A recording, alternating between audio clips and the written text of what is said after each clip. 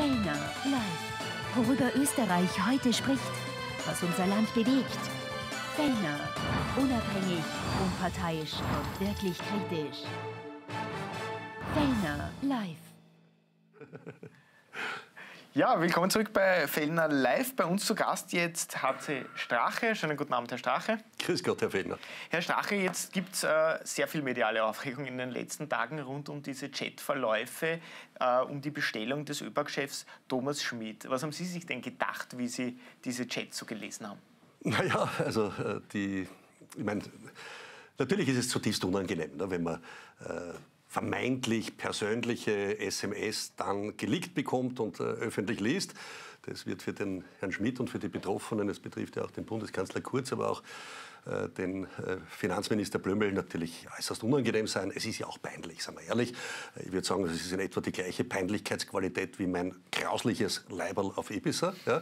Äh, strafrechtlich relevant ist es nicht, aber es ist sehr peinlich. Ne? Und wenn man dann diese Nachrichten da bewertet, wie ich liebe dich, mein Kanzler, ne? das wäre so, wie wenn ich Ihnen schreiben würde, SMS, ich liebe Sie, mein Lieblings-Österreich-Chefredakteur. Ne? Also, ja, und dazu dann noch die, die, die Busseln und die Herzen und die weiß nicht was mit den Smileys. Ja, also das ist unangenehm. Und äh, bis hin zur Schmidt AG, wo ja eines sichtbar wird, dass es natürlich eine Struktur gab und offenbar einen genauen Plan gab, äh, bis hin, dass, äh, dass neben den Strukturen, die aufgezeigt werden, auch aufgetaucht sind Interventionen gegenüber Medien und auch Chefredakteuren, in dem Fall vom, von der Presse, vom, vom Rainer Nowak, wo dann interveniert worden ist, damit eine Geschichte zu dem Thema nicht auf der Titelseite erscheint, sondern irgendwo verreimt wird. Also es zeigt schon etwas auf und es ist schon auch ein Sittenbild und zeigt auf, dass die Gerüchte, die ich auf Ibiza über äh, andere erzählt habe, äh, da oder dort äh, ja, bestätigt sind. Das ist jetzt meine nächste Frage. Ist es eigentlich ein bisschen so jetzt, wenn das alles, wenn man das rekapituliert, was da in den letzten Monaten ans Licht gekommen ist, dass die ÖVP eigentlich das umgesetzt hat, was Sie da in illuminierten Zustand in Ibiza sich gewünscht haben? Nein, ich habe mir es ja nicht gewünscht, denn die sieben Stunden äh, Videos sind ja jetzt äh, zum Glück auch durch das äh, Oberlandesgericht äh, mir zugesprochen worden. Das heißt, man muss mir das aushändigen und ich habe jetzt die Gelegenheit, diese sieben Stunden auch wirklich abseits einer Zensur mir anzusehen und zu bewerten. Habe das auch schon begonnen mhm. und dort ist eines sichtbar geworden, dass das, was da passiert ist im im Jahr 2019, nämlich im Mai, am 17. Mai, dass eines feststeht, das war eine Kampagne mit Manipulation und Auslassung von wesentlichen Bereichen und keine Aufklärung im Sinne von investigativen Journalismus, sondern in Wahrheit eine Verleumdung. Warum? Steht heute nach den sieben Stunden eindeutig fest und ist bewiesen, dass äh, ich, in dem Fall nämlich der HC Strache, nicht korrupt ist. Das steht fest nach den sieben Stunden, weil alle Versuche bei dieser Falle und heimlichen Videoaufnahmen, alle Versuche über Stunden hinweg, auch in einem sehr fragwürdigen Zustand, äh, mich in eine Korruption hineinzugleiten, von mir konsequent abgelehnt worden sind. Das heißt, über 100 Mal wird dort sichtbar, dass ich das auch sehr schroff zurückweise und sage, mit mir gibt es das nicht, bei mir gibt es nur einen sauberen Weg. Das heißt, die Schlagzeile hätte eigentlich damals am 17. Mai 2019 lauten müssen, dass der Strache nicht korrupt ist und sogar in einer Falle beweist, nicht korrupt zu sein. Äh, und das hat man natürlich nicht wollen. Und das ist schon interessant, weil das wird natürlich noch ein Nachspiel haben. Man muss bewerten, warum hier ein zweiter Fall Relotius oder ich sage jetzt einmal äh, ähnliche Vergleiche bis hin zu den Hitler-Tagebüchern, die es ja da im deutschen Medienraum gegeben hat, warum man so manipulativ vorgegangen ist und wieder besseres Wissen so agiert hat. Das werfen Sie jetzt insbesondere insbesondere dem Spiegel der Süddeutschen das, Zeitung und dem Falter vor. Das werfe ich natürlich äh, diesen Journalisten und Medien vor, die ja auch wieder Besseres wissen, weil die haben ja das gesamte Video gesehen. Das sagen sie ja. ja?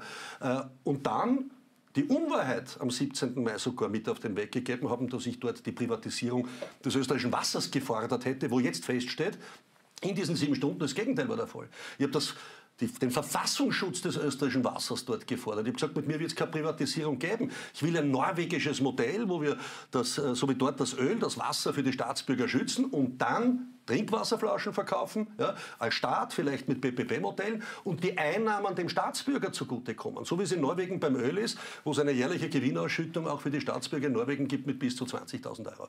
So, und das hat man bewusst verdreht. Und jetzt steht fest, man hat verleumdet, gelogen und ganz bewusst manipulativ ein falsches Bild gezeigt. Ja, neben den peinlichen Bildern, die natürlich peinlich genug sind, weil wer will sich schon heimlich filmen lassen, äh, Alkohol trinkend und kettenrauchend und in so einem peinlichen Leiberl. Ja, aber In Wahrheit ein Prädikat, der Strache ist nicht korrupt. Und das ist in Wahrheit der entscheidende Punkt. Und wenn ich mir dann die äh, Situation heute anschaue, ja, mit den Chats und mit der Entwicklung, wo damals der Herr Bundespräsident van der Bellen gesagt hat, äh, so sind wir nicht und heute schweigt, so muss man heute eigentlich festhalten, so sind wir nicht, die sind viel schlimmer. Ärgert Sie das eigentlich, dass der Bundespräsident heute schweigt, also eben jetzt zu diesen Chats nichts sagt, während er damals ja extrem offensiv aufgetreten ist? Na, es wundert mich nicht, denn äh, ich sage, die heutigen Entwicklungen äh, des Schweigens äh, zu dieser jetzt sichtbar gewordenen Struktur in dieser türkis-grünen Regierung äh, ist natürlich wahrlich problematisch und natürlich wesentlich schlimmer und da findet ein bewusstes Schweigen und ein weiter Wurstel statt. Aber das hat ja auch einen Grund, denn äh, schauen wir uns an, neben den peinlichen Chats, die es da gibt, äh, wo da auch äh, frauenfeindliche SMS stattgefunden haben, äh, in die Richtung gehend, mir gehen die Weiber auf die Nerven, Zitat Ende, die Scheißquote. Ne? Also solche Sachen sind da auch offenbar ausgetauscht worden, zeigt schon auch ein Bild auf, aber auch die Heuchelei der Grünen. Warum die Heuchelei der Grünen?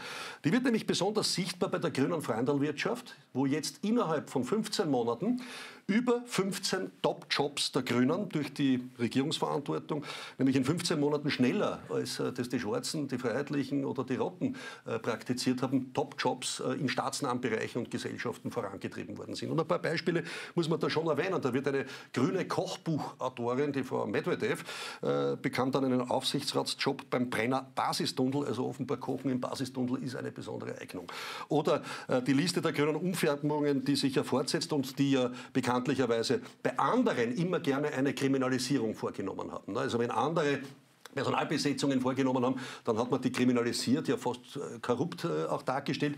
Aber wenn es dann um die Gattin des Bundespräsidenten van der Bellen geht, ne, die also im Burgtheater Aufsichtsrätin geworden ist, die Frau Doris Schmiedauer, äh, nämlich von der Kulturstaatssekretärin Mayer dazu berufen, die wiederum die ehemalige Mitarbeiterin vom Bundespräsidenten, dem grünen Bundespräsidenten van der Bellen gewesen ist, naja, äh, dann wird die wahrscheinlich genauso qualifiziert wie der Peter Siedler gewesen sein. Ne? Die werden alle qualifiziert gewesen sein. Und dann muss man weitergehen. Die Grünaktivistin aus der Wien-Wieden, die Karin Daust, äh, Aufsichtsrätin bei der Ausdruckkontrolle, die ist jetzt zuständig sozusagen äh, für die Sicherheit im Luftraum. Oder bei der Schieneninfrastruktur, die grüne Martina Gura bringt als Radlobbyistin jetzt ihr Fachwissen im Bereich des Schienenverkehrs ein. Also das sind alles illustre Dinge. Expertin für den Tierschutz hat es natürlich nur eine grüne Expertin gegeben, nämlich die Frau Petrovic, die vom Anschober eingesetzt worden ist. Und bis zum Verfassungsgerichtshof reicht es, wo dort die grüne Verena Mader Vizepräsidentin Präsidentin geworden ist. Sie war vorher Beirätin der Grünen Bildungswerkstatt. Und das ist noch nicht zu Ende, weil da gibt es noch ein Beispiel, nämlich den ehemaligen grünen Abgeordneten Dieter Bross. Ja, der ist jetzt zum Abteilungsleiter im Sportministerium. Da sicher ja, aus. Genau, da gibt es also meinen Nachfolger, den Sportminister Kogler. Ich frage mich, was der für den Sport überhaupt äh, in den 15 Monaten getan hat. Äh, da war er völlig äh, inkompetent und, und auch abwesend. Aber er hat einen Ex-Nationalratsabgeordneten, den Dieter Bross von den Grünen, zum Abteilungsleiter gemacht. So, und jetzt würde ich gerne, also ich hätte gern jetzt einmal den grünen SMS-Verkehr gelegt, den es da im Vorspiel dazu gegeben hat. Ja, denn das ist ja ganz klar, dass da natürlich grüne Postenschacherei betrieben wurde. Denn äh, Sie können mir nicht weismachen, dass da unabhängige Scouts von den Grünen äh, eingesetzt worden sind, die auf der Straße zufällig die Besten der Besten Österreichs lauter Grüne entdeckt haben und die jetzt alle in die Positionen gekommen sind. Also Sie also, sind der Meinung, die Grünen machen genau das Gleiche wie alle anderen? Na, ich glaube viel Oder schlimmer. schlimmer na, viel, na, viel schlimmer. Jetzt sage ich Ihnen was. Stellen Sie sich vor, ich als Vizekanzler hm? hätte meine Frau in meiner Zeit als Vizekanzler zur Aufsichtsrätin im Burgtheater gemacht. Oder stellen Sie sich vor, ich als Vizekanzler hätte einen ehemaligen FPÖ-Nationalratsabgeordneten zum Abteilungsleiter im Sportministerium gemacht. Zu Recht wäre ein Aufschrei durchs Land gegangen. Also, das hat es bei mir noch nicht gegeben. Und hier in einer augenscheinlichen Art und Weise wird sichtbar die grüne Postenschacherei und die Heuchelei dahinter. Ich spreche den Herrschaften auch teilweise ihre Kompetenz nicht ab. Äh, aber umgekehrt haben es die Grünen bei allen anderen Vorschlägen gemacht und es immer nur auf parteipolitische äh, Postenbesetzungen heruntergebrochen. Und das zeigt die Heuchelei auf. Kommen wir noch mal ganz kurz zurück zum Thomas Schmidt, zu dieser Bestellung als ÖBAG-Chef. Inwiefern waren Sie denn damals in diese Bestellung eingebunden? Weil das war ja eine aufrechte Koalition mit der ÖVP und eine gewichtige Position. Ich nehme an, der Bundeskanzler oder der Finanzminister haben das ja auch mit Ihnen abgesprochen. Nein, denn äh, das war immer so vereinbart. Von Beginn an in den Regierungsverhandlungen war eines äh, sozusagen im Regierungsprogramm und auch in allen Sideletters äh, definiert. Äh, neben den Inhalten, dass äh, die personalpolitischen Entscheidungen und die Hoheiten immer in dem jeweiligen äh, zuständigen Ressort liegen.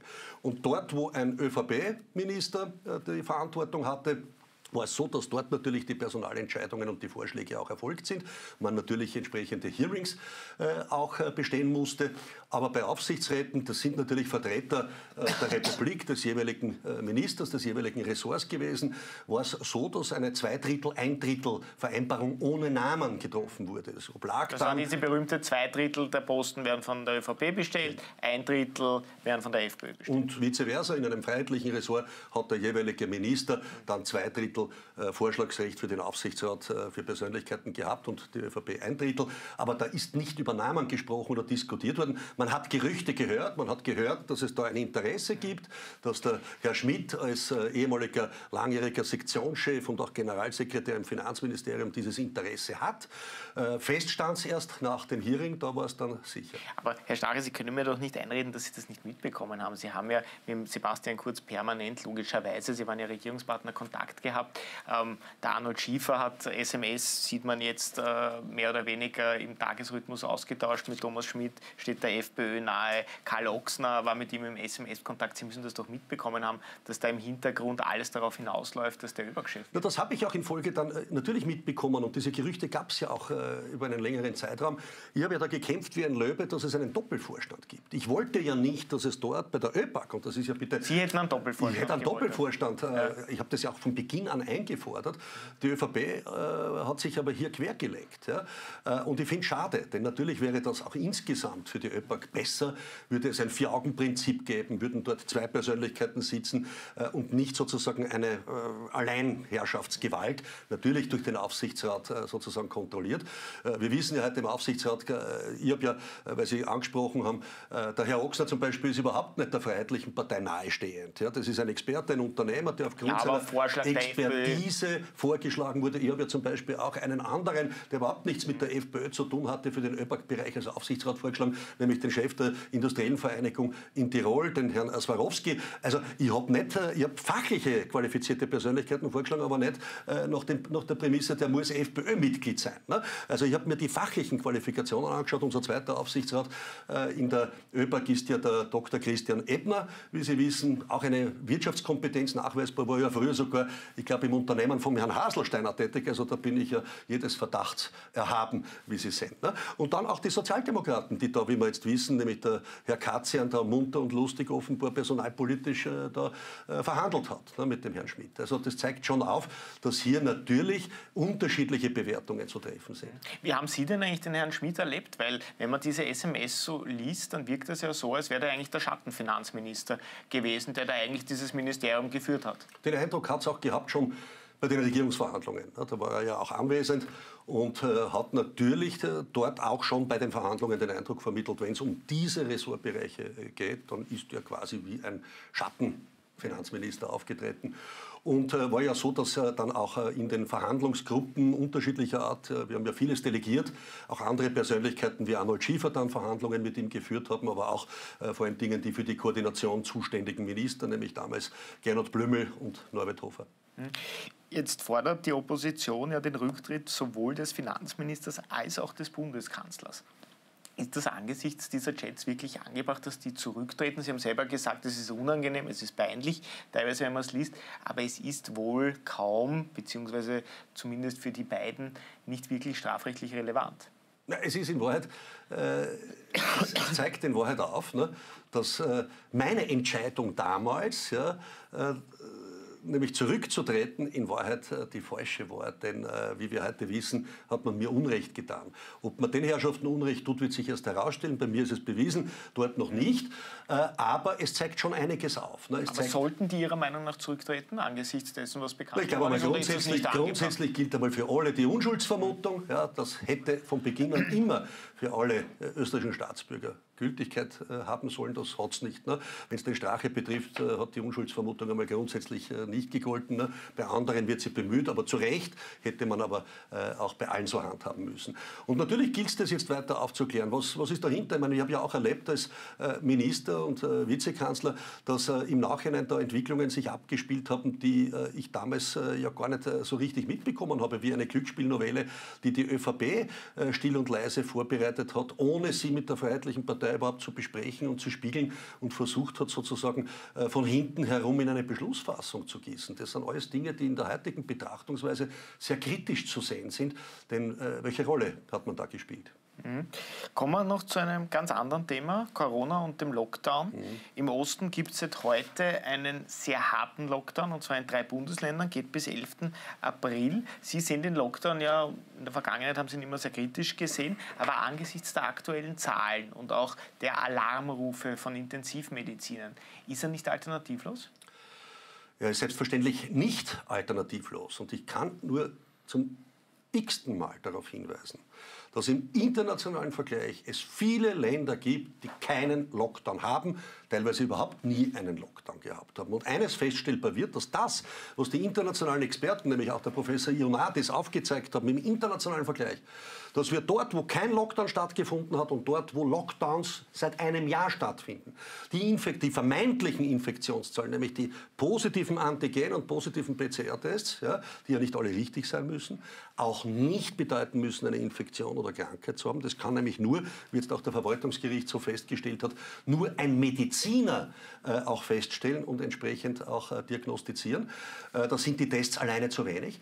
Aber das zeigt auf, dass wir dort, wo ein Lockdown seit einem Jahr stattfindet und dort, wo überhaupt keiner stattgefunden hat, die Zahlen in etwa gleich sind. Dort, wo kein Lockdown stattgefunden hat, sogar die Zahlen jetzt besser sind als dort, wo ein Lockdown gemacht wurde. Und das ist interessant. Das heißt, das muss man schon evidenzbasiert ja, bewerten, warum ist das so. Und ich sage äh, insgesamt bei dem Lockdown, ich meine, die Menschen verlieren insgesamt das Vertrauen in diese Maßnahmen, in diese Regierung. Warum? Jetzt haben wir über ein Jahr äh, eigentlich fast einen Dauerlockdown in unterschiedlichen Facetten und äh, es ist nichts besser geworden, im Gegenteil. Die Bürger haben echt die Schnauze voll. Sie erleben, dass der Kollateralschaden in der Gesellschaft viel dramatischer ist, als er heute überhaupt diskutiert oder aufgezeigt wird. Und jetzt geht man her und versucht auch noch FFP2-Masken äh, im Freien, sprich in der frischen Luft zwangs zu verordnen. Ich meine, das ist dann nur meine entschuldigen Sie den Begriff, eine Verarsche. Ja, da fühlt man sich dann gefurzelt. Ne? In der frischen Luft äh, für alle Spaziergänger und vielleicht Radlfahrer und Läufer dann noch eine FFP2-Maske zwangsverordnen, naja, da, da hat keiner mehr Verständnis. Und so gesehen ist es kein Wunder, wenn immer mehr Bürger ich sage, kritisch gegenüber der Regierung und den Maßnahmen stehen und äh, letztlich auch äh, sich äh, bei den Demonstrationen beteiligen für die Freiheit. Ja. Äh, da kommt ja so vieles zum Vorschein, wie auch jetzt durch die Arbeiterkammer, wo bei der Arbeiterkammer jetzt eine Warnung auch aufgegriffen wurde, aktuell. Das zeige ich auch schon seit Monaten auf und warne vor gewissen Entwicklungen. Jetzt bestätigt die Arbeiterkammer meine Warnungen, nämlich über 17.000 Delogierungen drohen in den nächsten Wochen in Österreich, weil die Mietstundungen fällig werden. Und zwar nicht nur im privaten Sektor, auch im Sozial- oder Gemeindewohnungssektor. Ne? Also das ist dramatisch und das ist nur eine kleine Facette neben der Massenarbeitslosigkeit, neben den Betrieben, die vor dem Konkurs und vor der Insolvenz stehen und den Sommer nicht überleben werden. Also da, da, da tut sich unglaub, ein unglaublicher Schaden Schaden auf. Und das müssen wir dann in einer Gesamtheit einmal bewerten. Und da wird dann leider sichtbar, dass die Maßnahmen der Regierung gesamt gesehen nicht richtig waren. Das waren die falschen. Aber jetzt sind Sie dafür, alles aufzusperren, oder? Das ist ja, glaube ich. Ich glaube, dass man mit gewissen Regeln, dass man mit gewissen Regeln dann aber, betrachten muss, keinen äh, Lockdown in der Form vorzunehmen. Aber ja. dass die Intensivstationen voll sind, das sind Zahlen und Fakten, die am Tisch liegen und Intensivmediziner, die dort arbeiten, die sagen, die Situation ist wirklich dramatisch. Nein, nein, das, das, ist, ist es angesichts dessen nicht unverantwortlich, nein, jetzt aufzusperren? Das tue ich auch gar nicht in Abrede stellen. Ja? Wir hatten in den letzten zehn Jahren ohne Corona dreimal solche Situationen, dass die Intensivbettenkapazitäten an ihrer Grenze angekommen sind. Ja, dreimal ohne Corona. Warum? Weil offenbar der Intensivbettenplan in Österreich ein falscher ist und, für Eventualitäten, und auf Eventualitäten nicht vorbereitet ist. Wir hatten zweimal aufgrund einer Grippewelle, nämlich Influenza, so eine Situation und einmal aufgrund einer Hitzewelle, wo ähnliche Entwicklungen der Fall waren. Warum? Wenn eine Intensivstation neun bis zwölf Betten hat und in der Regel neun Betten belegt sind und man zwei bis drei Betten frei hält für Operationen, falls nach der Operation ein Patient ein Intensivbett braucht, um die Kapazität nützen zu können, dann ist das jetzt durch solche Spitzen, wie eben schon dreimal in den letzten zehn Jahren durch Influenza oder eine Hitzewelle, auf einmal nicht der Fall. Man kann die Betten nicht freihalten, sie sind belegt. Das geht relativ rasch. Und das muss man schon aufzeigen, dass hier offenbar das Versagen der, wieder der Gesundheits des Gesundheitsministers, aber der Regierung im, im, im, Gesamten, völlig sichtbar wird. Seit einem Jahr weiß man das, dass es diese Spitzen gibt. Ja. Ob man einen Lockdown macht oder nicht, man weiß, diese Spitzen werden kommen. Ja. Es wird in der Regel die gesamte Gesellschaft irgendwann einmal jeder mit Corona in Kontakt kommen und vielleicht auch ein positives PCR- oder Antigen-Testergebnis haben und vielleicht am Ende noch medizinisch-ärztlich diagnostiziert äh, infiziert und krank sein. Ja. Äh, das, das wird nicht vermeidbar sein. Und äh, deshalb hätte man sich darauf vorbereiten müssen. Das hat man nicht getan. Die Kapazitäten sind viel zu klein, wenn man mit 600 Betten in Österreich eine Überlastung hat, dann müssen Sie die Frage sich stellen, ist das ausreichend für eine Gesellschaft mit über 9 Millionen Menschen? Also ich glaube nicht. Aber wie stellen Sie sich das vor mit dem Aufsperren? Weil Sie sagen immer, unter gewissen sozusagen Regeln, Vorgaben könnte man öffnen. Aber was heißt das konkret? Wie würden Sie jetzt hm. öffnen, wenn Sie in Regierungsverantwortung wären? Ich habe das immer gesagt. Ne? Ich das, äh, seit, seit, Monaten zeige ich auf. Ne?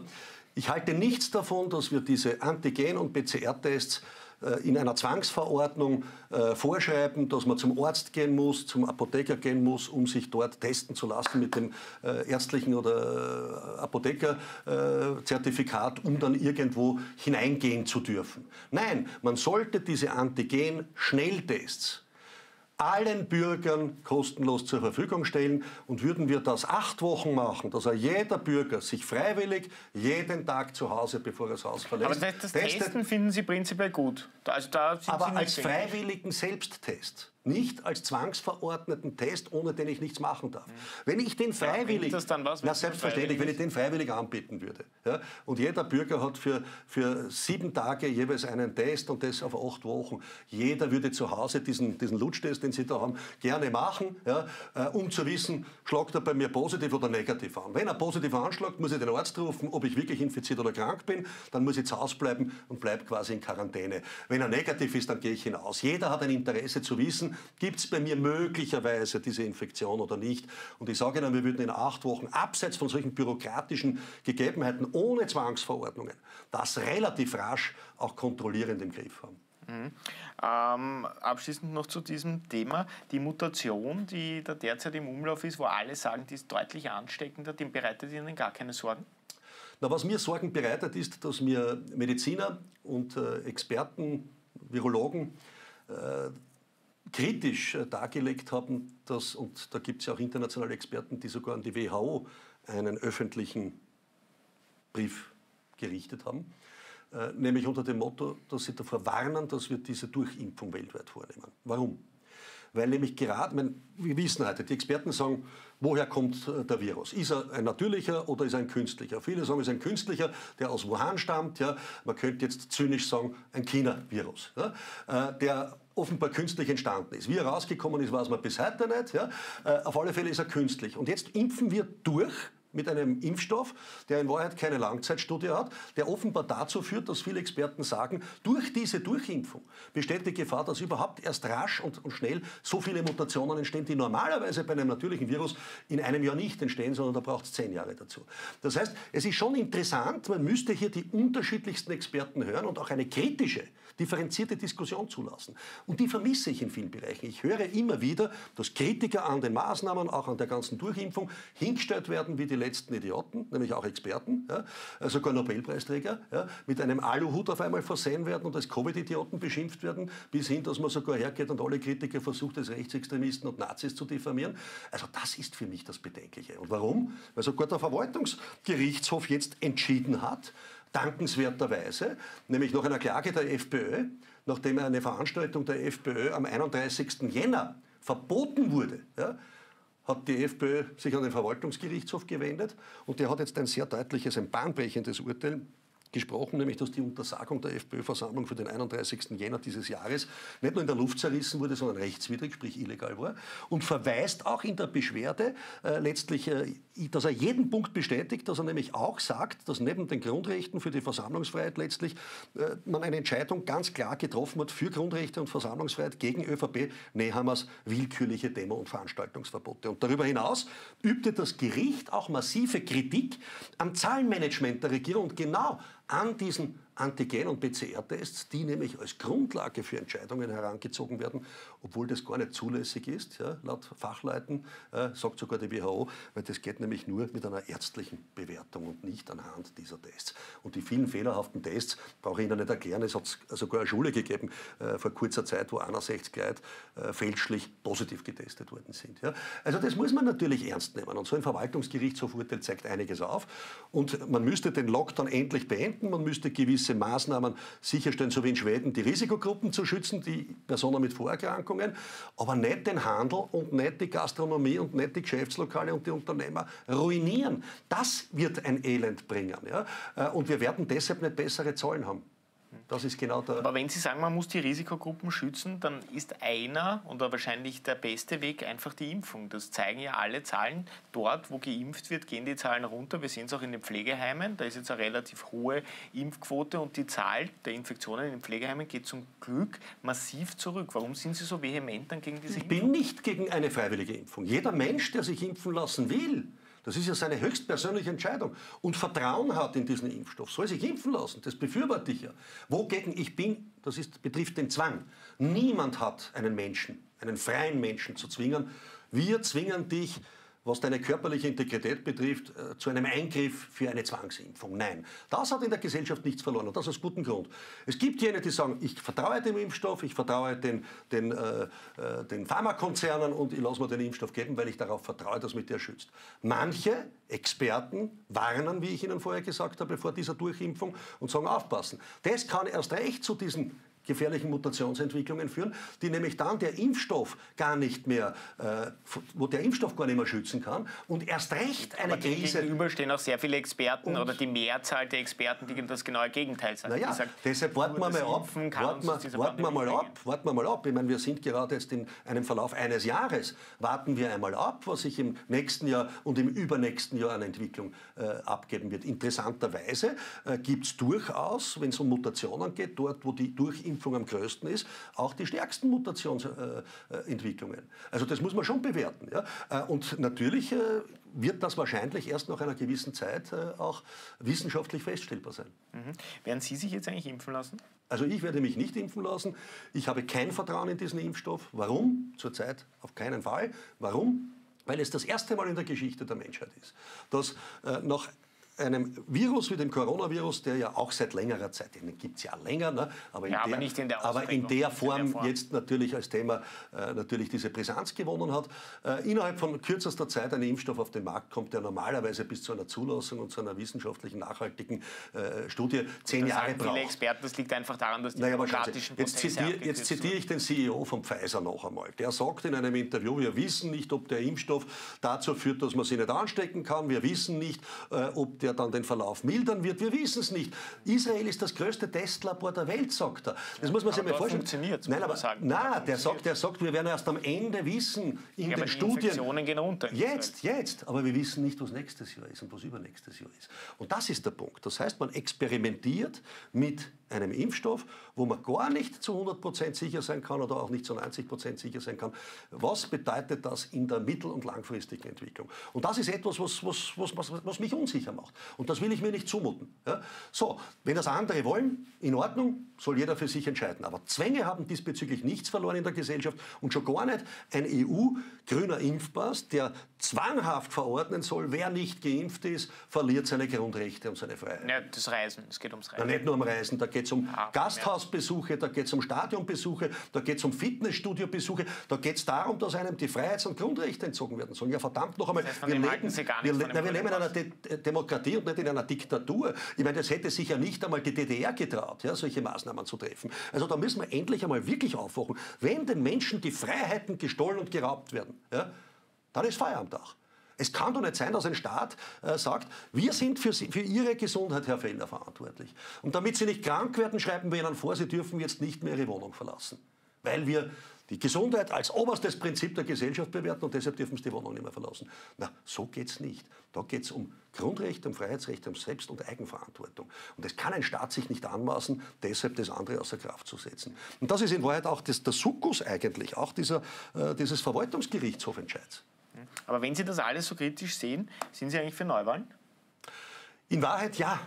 Denn äh, diese Regierung, und ich sage, es ist viel zu kurz gegriffen, wenn man heute sagt, Kurz muss weg. Nein, diese Regierung muss weg.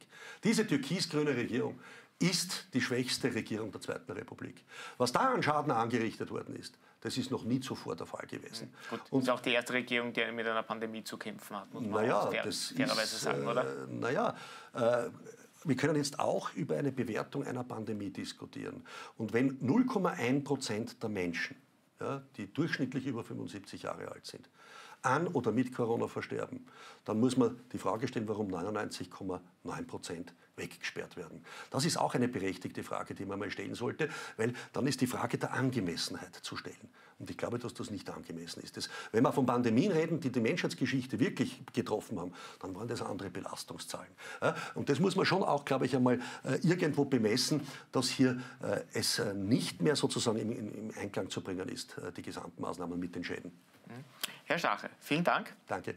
Wir machen eine ganz kurze Werbepause. Wir bleiben aber beim Thema Corona. Gleich zu Gast ist der Virologe Norbert Nowotny und mit dem werden wir gleich die aktuelle Corona-Situation besprechen. Er sieht sie nämlich an, diametral anders als Heinz-Christian Strache. Aber lassen wir uns überraschen. Was sagt er zu den harten Maßnahmen, die wir jetzt in der Ostregion haben? Helfen die? Wirken die? Wie lange müssen die aufrecht bleiben? Und braucht es solche Maßnahmen auch im Rest von Österreich? Und wie sieht er die Situation in den Spitälern? Gleich mehr dazu mit dem Virologen Norbert Nowotny.